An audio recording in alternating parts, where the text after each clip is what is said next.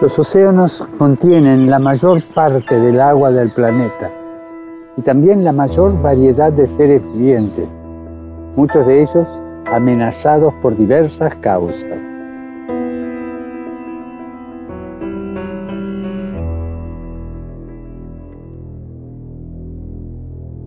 La creación es un proyecto del amor de Dios hacia toda la humanidad. Nuestra solidaridad con la casa común nace de nuestra fe.